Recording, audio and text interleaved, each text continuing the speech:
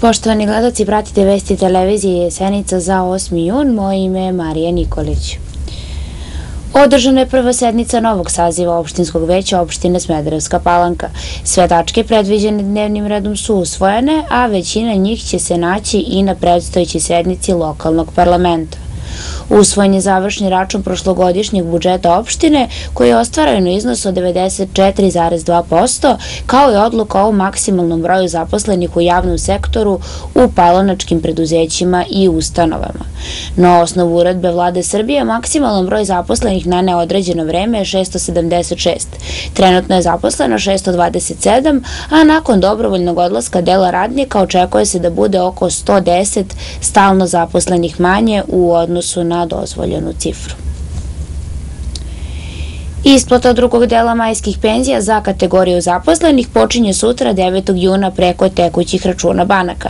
Isplata na šalterima pošta i dostavu na kućne adrese počeće od ponedeljka 11. juna, saopštio je PIA fond.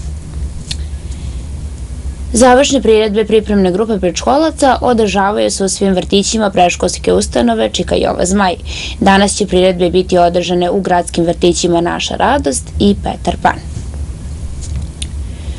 U Cerovcu, mestu u opštini Smederevska palanka, održan je dan polja za poljoprivrednike. Stručna edukacija i savremena proizvodnja bile su teme ovog skupa, gde su na oglednim poljima prezentovane mogućnosti kvalitetnijih i većih prinosa. Danas u 17 časova na gradskom stadionu u Palanci biće održano školsko prvenstvo u školskoj atletici. Očekuje se učešće deci iz svih gradskih škola, a takmičit će se u trkačkim, skakačkim i bacačkim disciplinama. Vreme danas sunčano i toplo, krajem dana i tokom večeri moguće na oblačenje. Minimalna temperatura 20, maksimalna dnevna 34 stepena. Bile su ovo vesti televizije Jesenica, hvala vam na pažnji.